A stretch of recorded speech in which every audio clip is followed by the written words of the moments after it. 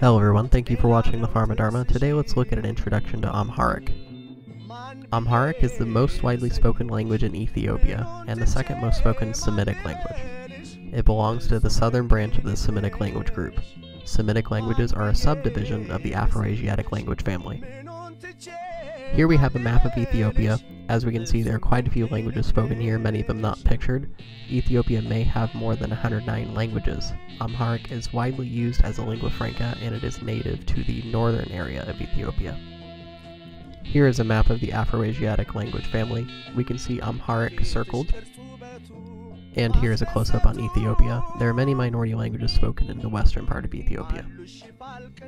Thank you for watching. Please like, share, comment, and subscribe.